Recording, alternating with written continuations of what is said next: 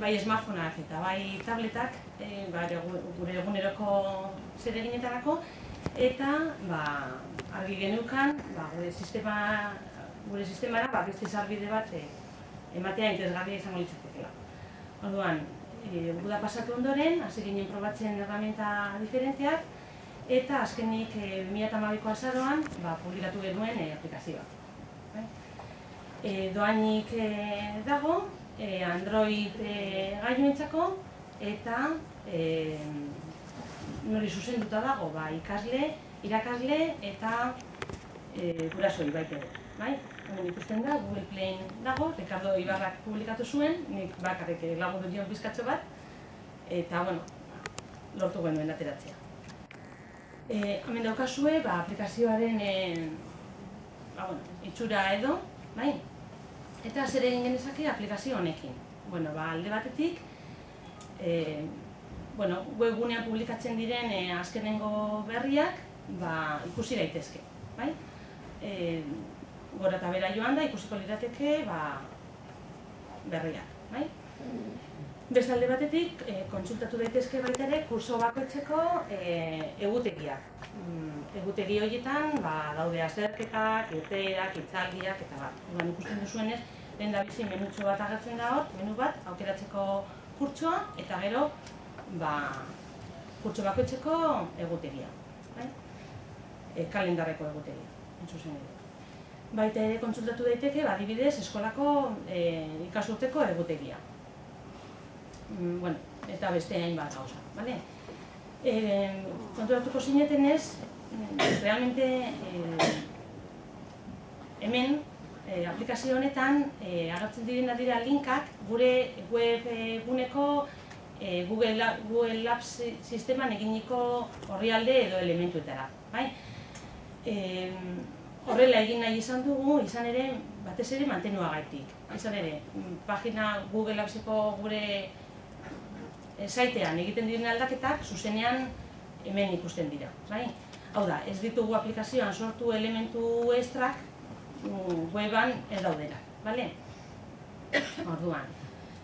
E, bueno, erabili tresnasko ibili ginen e, probatzen, beraien artean ba, probatu genuen App Inventor, e, Make Me Droid, Andromo, bueno, tresna batzuk e, probatu genituen, eta baina azken batean bat aukeratu behar da, eta e, abesbarrekin e, azbarre erabiltzea erabaki genuen azkenean. Edu blogen bitartez e, ezagutu genuen, eta berarekin hasi ginen. Bai, orduan, gauza guztia bezala ditu bere alde onak eta bere alde ba, esain onak edo abantaiak eta desabantaiak. Orduan, ba, abantaien artean, alde batetik, doainik tresna bat eh, dela, doainik dana. Eta beste bat, probatu izan ditugun beste batzuk, ba, hilean e, diru baten ordainketa suposatzen zuten, eta honek ba, aldiz ez. Beste alde batetik, ba, e, intuitiboa eta erraza. E, programazioko noziorik e, behar ez izateak, ba, egiten du tresna erabilgarri eta erakargarria. Bai? Ni pertsonalki eh, honetaz aparte, erabili izan dut nire informatikako ikasgaian DBH-ko laugarren mailako ikasleekin. Eta esperientzia ba, oso ona izan dut. Bai? E, beste alde batetik, mm, desabantaien artean, ba, komentatzea, ba, bueno, mm, limitazio bat ditu, bai? E, doainik eta hain erreza, ba, zerbait duki behar du, ba, kontra. Bai?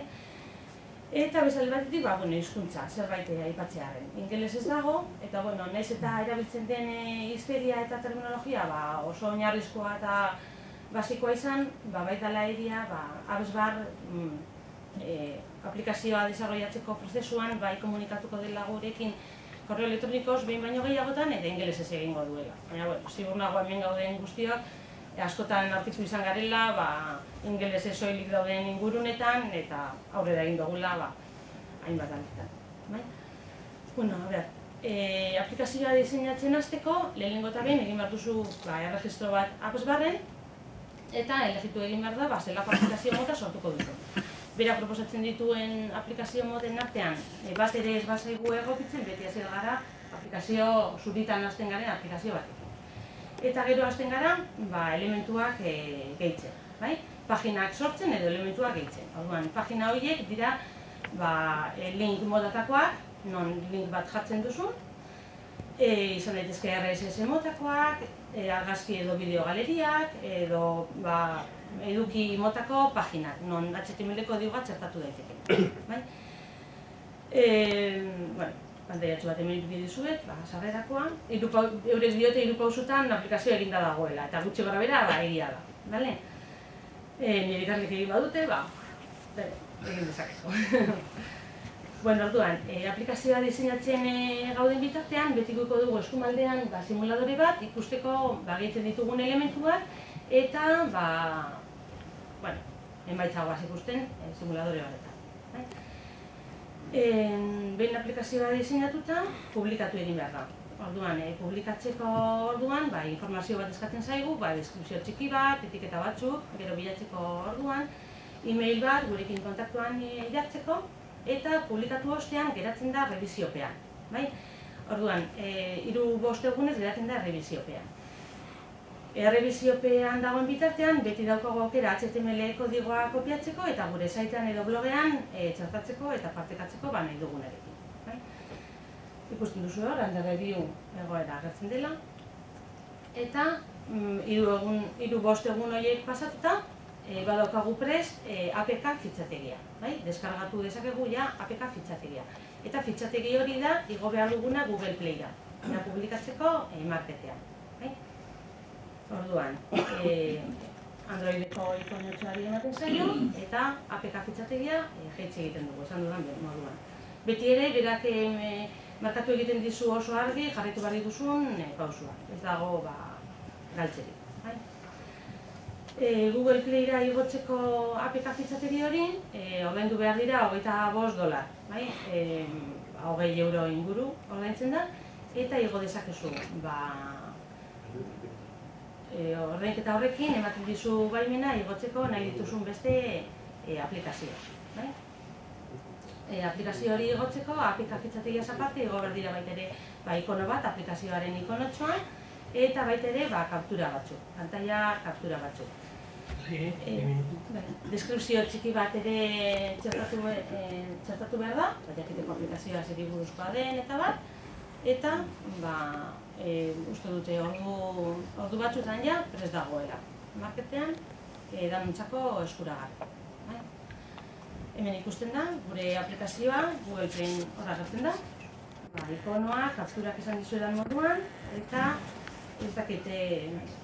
Ah, bueno, bai komentatuko neuke, bere aplikazioa, berak aplikazioak oso gutxi okupatzen duela, megabat e, inguru, hemen ikusten da, ikusten megabat inguru, okupatzen du bakarrik izatez, bakarrik e, okupatzen duenak dira e, jartzen diren ikonotxoak.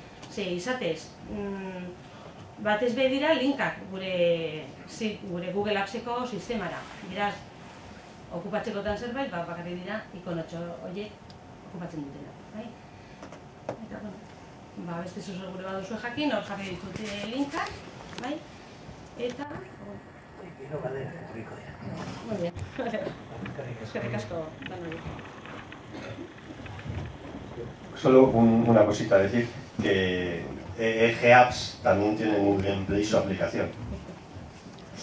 La bajaremos.